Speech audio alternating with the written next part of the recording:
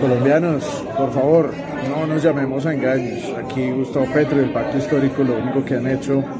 es crear cortinas de humo, imágenes, imagínense un iceberg, todo lo que estamos viendo arriba, esas declaraciones estúpidas en la ONU, en la, OEA, en la OEA,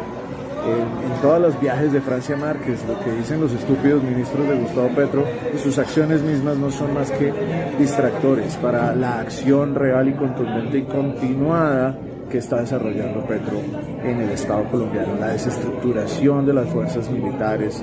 el acabar con el Estado de Derecho y el minar la seguridad de todos los colombianos por medio de sus bandas criminales, de sus bandas campesinas, todo esto que está llamando al desorden como sus marchas del tal 27 de septiembre. Aquí nosotros tenemos que ser voces contundentes, nosotros no podemos ser oposición tibia, no podemos permitir que haya oposición tibia en Colombia que no le hable a Petro directamente como lo hacemos nosotros. Ustedes tienen que ser garantes de la democracia, cada uno de nosotros debe tener una voz firme y no aflojar. Él está acostumbrado a creer que el pueblo colombiano está lleno de pendejos y lo que somos nosotros somos activos, somos fuertes, decididos y berracos